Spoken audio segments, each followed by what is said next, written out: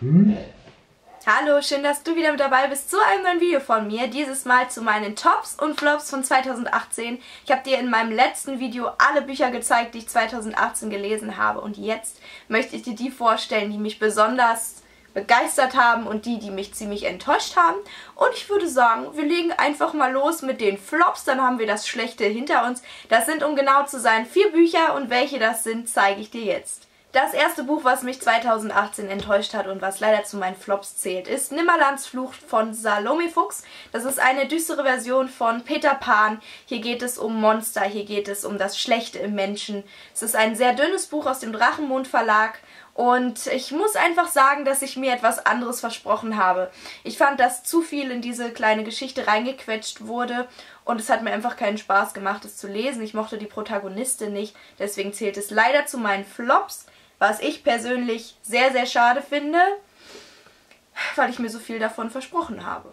Mein zweiter Jahresflop ist 54 Minuten von Marike Niekamp. Gefühlt jeder liebt dieses Buch. Dieses Buch wurde unfassbar gehypt, deswegen habe ich es mir dann gekauft, weil ich neugierig war.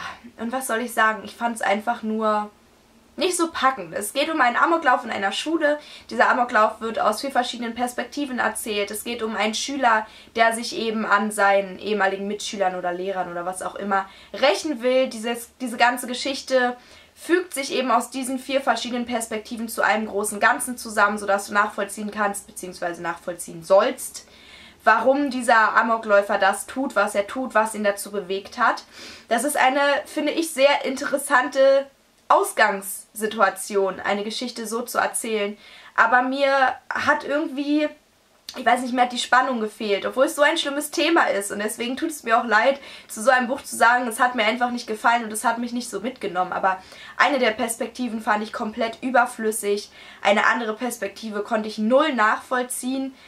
Und deswegen hat mir dieses ganze Buch einfach nicht gefallen. Also ich mochte es einfach wirklich gar nicht gerne.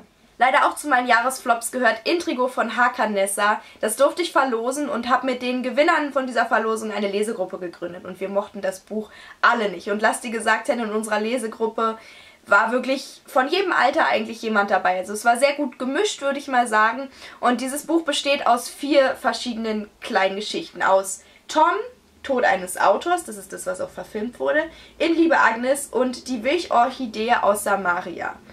Die letzte Geschichte, die Wildorchidee aus Samaria, meine Güte, fand ich noch am besten, aber alles andere hat mir nicht so gut gefallen. Ich konnte mich mit den Protagonisten dieser verschiedenen äh, Kurzgeschichten einfach nicht anfreunden. Ich mochte den Schreibstil nicht, das war irgendwie so nüchtern. Ich finde es sehr, sehr schade. Ähm, ich, ich weiß nicht, ob ich Hakanessa damit vielleicht, ja, weiß ich nicht, Unrecht tue. Aber dieses Buch konnte mich null überzeugen. Ich habe mich durchgequält. Ja, deswegen siehst du es leider hier bei den Flops. Und zu guter Letzt noch Stille Nacht, mörderisch schöne Weihnachtsthriller von verschiedenen Autorinnen. Und zwar von Beatrix Gurian, Manuela Martini, Ulrike Bliefert, Bettina Brömme und Nora Miedler. Das kann ich mir wirklich nicht merken, deswegen musste ich es dir vorlesen. Das sind kurz, wirklich kurze Thriller. Fünf Stück, glaube ich, waren es, ne? Macht Sinn, sind fünf Autorinnen. Ähm, ich weiß nicht, ob ich inzwischen für solche Jugendthriller auf diese Art, das ist mir wichtig, das zu betonen, zu alt bin und es mich deswegen nicht mehr so gepackt hat. Ich fand vier von den fünf Geschichten viel zu überspitzt. Also da dachte ich mir so, ja, ist halt null glaubhaft. Das mag ich nicht, wenn Thriller wirklich gar nicht glaubhaft sind. Ähm, die, das, das ging vor allem, also es war vor allem aus der Sicht von Mädels und ich mochte die meisten einfach nicht. Kennst du das? Also bei mir ist es echt so, für mich zählt ein Buch zu Flops, wenn ich wirklich keine der Figuren aus der Geschichte mag. Wenn ich mich in niemanden reinversetzen kann, dann ist es so, hm, ja, okay. Eine Geschichte, wie gesagt, davon mochte ich ganz gern. Die anderen haben mich leider nicht überzeugt. Kommen wir nun lieber zu etwas Schönerem, nämlich zu den Tops von 2018, was unter anderem One of Us is Lying von Karen M. McManus ist. Das ist eine Geschichte, die vom Flair her genauso ist wie Pretty Little Liars, Riverdale, Gossip Girl. Spielt an einer Highschool und es geht darum, dass vier Schüler nachsitzen müssen. Diese Geschichte ist auch aus vier verschiedenen Perspektiven erzählt vom, von der Streberin bis zum Supersportler ist alles dabei an Klischees, wie man zumindest am Anfang denkt. Und es geht darum, dass diese vier Schüler eben nachsitzen, zusammen mit noch einem fünften und dieser fünfte Schüler stirbt. Und ähm, diese vier Schüler müssen dann beweisen, dass sie damit nichts zu tun haben. Es ist so gut gewesen. Ich mochte es so, so gerne. Ich, ich habe mich gefühlt, als wäre ich selber wieder 16 und dachte mir so, oh, voll krass.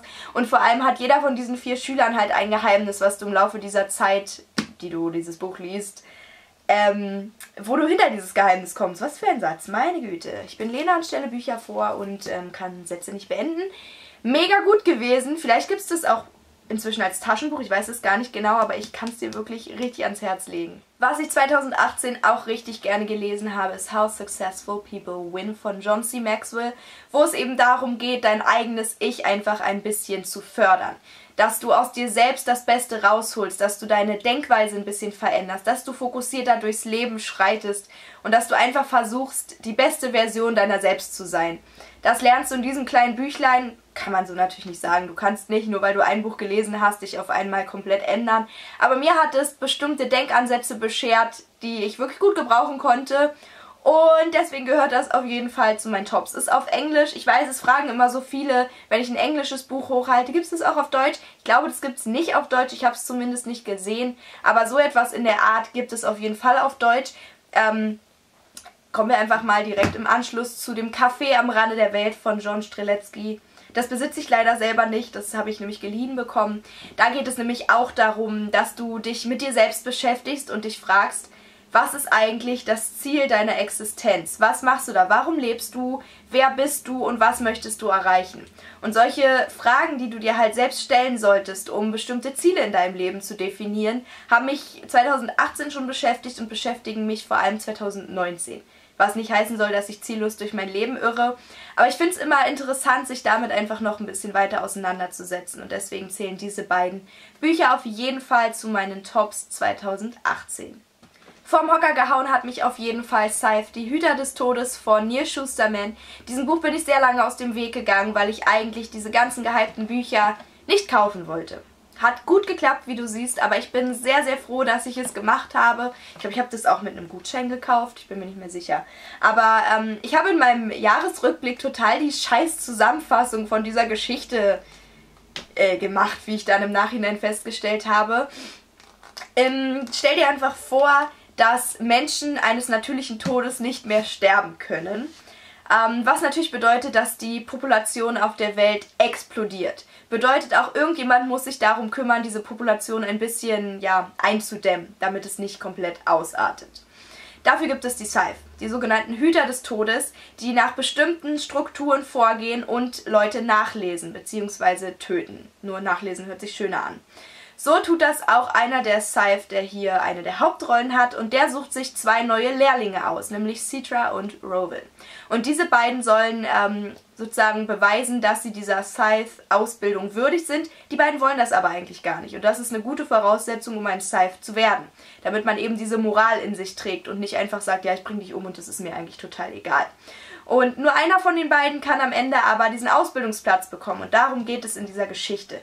Es ist so unfassbar gut gewesen. Dieser Schreibstil, diese, diese moralischen Fragen, die du dir während des Lesens stellst. Meine Mutter hat es auch gelesen und meinte auch, sie musste es teilweise zur Seite legen, weil sie sich dachte, ey, das ist irgendwie, kann man sich echt vorstellen, dass es irgendwann so wird. Und man fragt sich immer, darf sowas passieren? Absolute Leseempfehlung. Animal Crumbs Staubchronik von Lindrina dreht sich um Animant, die 1890 lebt und die es liebt, in ihren Büchern abzutauchen. Ihre Mutter will aber eigentlich am liebsten, dass sie sehr, sehr bald heiratet und so dieses typische, zu der Zeit zumindest typische Hausfrauenleben startet. Das möchte sie aber überhaupt nicht. Und als ihr Onkel dann sagt, hey, komm doch einen Monat nach London, du kannst in der Bibliothek arbeiten, ein bisschen sozusagen neue Leute kennenlernen, ein bisschen aus deinem kleinen Leben in einer Blase rauskommen, nimmt sie das dankbar an und fängt an, in dieser Bibliothek zu arbeiten. Und dort trifft sie auf den Bibliothekar. Der ist super unfreundlich zu ihr, der ist muffelig, der ist so richtig ungehobelt. Und am liebsten will sie sofort wieder gehen, aber sie zieht natürlich durch, weil sie sich denkt, ne, ich gehe nicht nach einem Tag wieder nach Hause. Diese Geschichte ist so wundervoll, so schön. Es kommen ein paar Probleme auf, die auch so ein bisschen, ja, typisch diese Zeit sind, würde ich mal sagen. Ähm, es ist nicht mal so, dass mega viel in diesem Buch passiert, dass ich jetzt sage, wow, du springst von Szene zu Szene und kannst gar nicht dabei atmen, weil du so aufgeregt bist. Aber es ist einfach nur so schön. Du liest dieses Buch und du, du, du bist selbst animant und stehst in dieser Bibliothek zwischen den Büchern und oh, es ist, es ist so schön gewesen. Ich, ich hab's hier nicht, weil ich es mir ausgeliehen habe.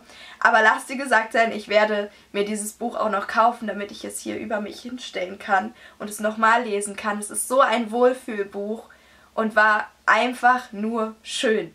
Zwei Bücher, die auch einfach nur schön waren, sind Göttersohn und Göttertochter von Jennifer Wolf. Das sind Teil 5 und Teil 6 der Jahreszeitenreihe.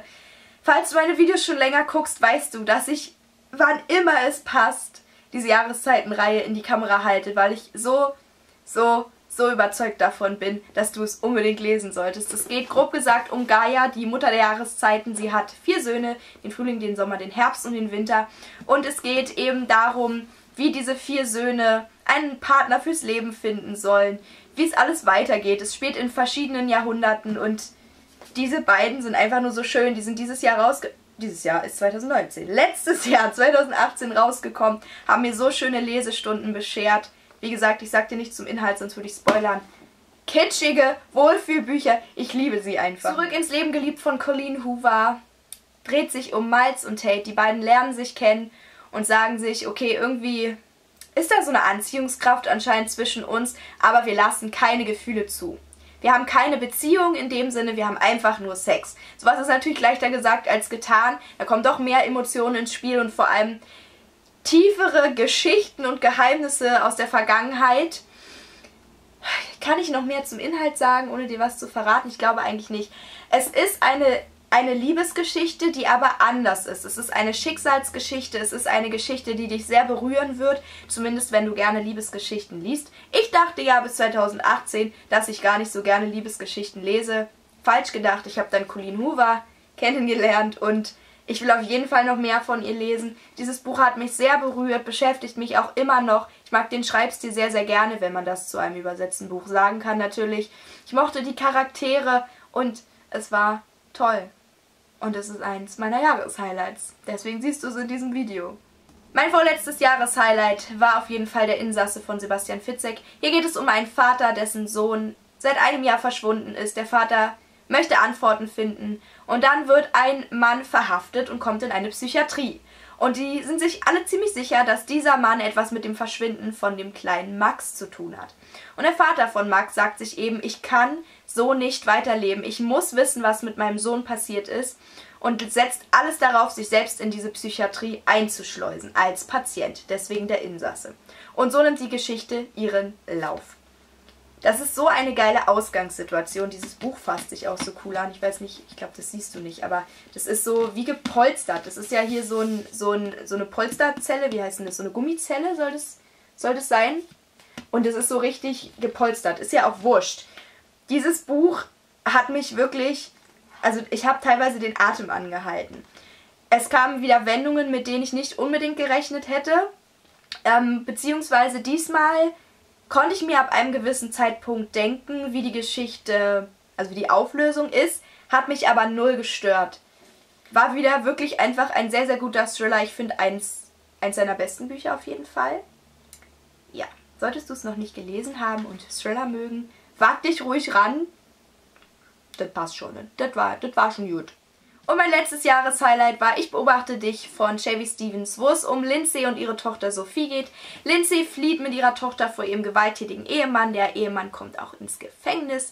Und die beiden äh, leben halt dann so ihr Leben ne? und denken sich, okay, jetzt können wir endlich wieder durchatmen. Ja, falsch gedacht. Dann kommt nämlich der Vater irgendwann aus dem Gefängnis raus. Sophie ist inzwischen 17 und Lindsay denkt, wow, mein Leben hat endlich eine Form angenommen, mit der ich zufrieden bin. Ja, und dann kommt er eben raus. Und sie hat natürlich furchtbare Angst, dass er Kontakt zu ihr aufnehmen könnte, dass sich diese ganzen Schreckenstaten wiederholen.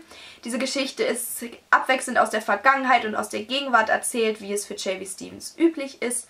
Und du erfährst eben, was in der Vergangenheit passiert ist und was Lindsay jetzt passiert. Wie sie mit dieser Angst umgeht, wie sie versucht, ihre Tochter zu schützen. Diese Angst und alles, was an Emotionen in Chevy Stevens Büchern geschrieben wird. überträgt sich so krass auf den Leser, jedenfalls auf mich. Ich kann ja immer nur von mir sprechen. Ich weiß, dass es meinen Mädels, die diese Bücher gelesen haben, genauso geht. Du liest dieses Buch und du fühlst dich, als wärst du Teil dieser Geschichte. Du hörst irgendwo ein Geräusch, beziehungsweise im Buch wird ein Geräusch beschrieben und du schaust dich automatisch um, weil du denkst, äh, irgendwas hat gerade auch an meiner Tür gekratzt. Und ich finde, das ist auch das, was J.V. Stevens Bücher so besonders macht. Diese Emotionen und diese Angst, die sich überträgt. Und deswegen gehört das zu meinen Jahreshighlights. An sich fand ich die Geschichte an manchen Stellen auch so, dass ich von einem bestimmten Charakter sehr genervt war. Ähm, aber trotzdem hat sie mir so gute Lesestunden beschert, dass es bei den Tops nicht fehlen durfte. So, mich würde wie immer interessieren, ob du eins der Bücher, die ich gezeigt habe, schon gelesen hast, ob du vielleicht eine komplett andere Meinung zu einem Buch hast. Ich weiß, dass zum Beispiel Toni vom Kanal Toni Pure, die mochte ja ähm, 54 Minuten richtig, richtig gerne. Sag mir gerne, was deine Jahreshighlights, was deine Flops waren. Und ich würde sagen, wir sehen uns im nächsten Video. Bis dahin, hab es fein. Ciao.